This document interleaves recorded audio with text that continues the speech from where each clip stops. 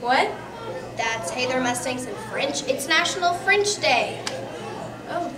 And today, it's March 20th.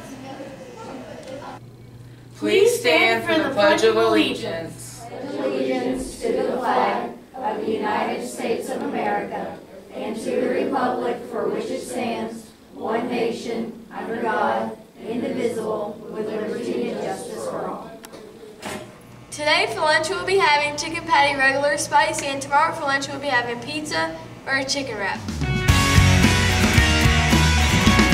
Hey guys, baseball has a tough road game at Danville Bay today, and wish girls soccer good luck at West Jessamine.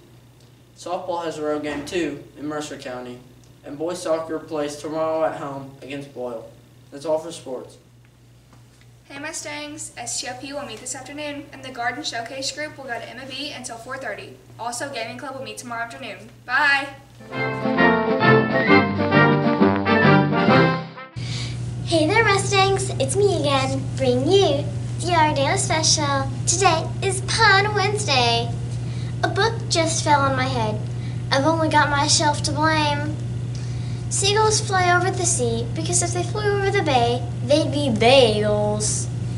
Did you hear about these new reversible jackets? I'm excited to see how they turn out. Hope you feel special when I bring you the Ardale Special. See ya! Here are your announcements. Spear Week is March 25th through the 29th. Also, the Anderson County Marching Band Color Guard auditions are also March 25th through the 29th from 3.30 to 5.30. Also, no yoga after school. The cooking competition is for 8-year-olds to 13-year-olds. Yearbooks are on sale till April 15th. And the firefighter program info is in the office. Check lost and found, and teachers, we are in need of Throwback Thursday pictures, so please send them to Mustang Media email. That was your announcement. We sing happy birthday to you. And happy birthday today to Jackson Doss, Riley Hilterbrand, Denver Puckett, and Alyssa Reynolds. Happy birthday!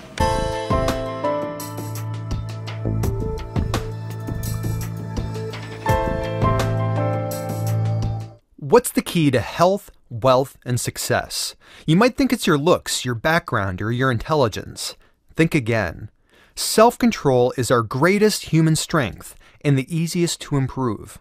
Just think of your heroes Mother Teresa, Albert Einstein, Abraham Lincoln, and Nelson Mandela. They had different backgrounds and different skills, but they share one thing in common self control. They overcame obstacles, they persevered in the face of failure and frustration, and they worked harder than others to achieve their goals. You might think you're worlds apart from these self control icons, but I'm here to show you that you have that same ingredient that will help you achieve your goals. What is self control?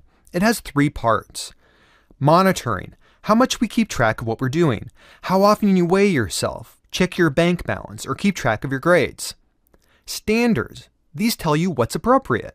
Laws tell us how fast we're supposed to drive. They tell us why we should wear a suit instead of flip flops to a job interview. And they tell us how to live up to our moral ideals. And strength. This is the energy to use self control.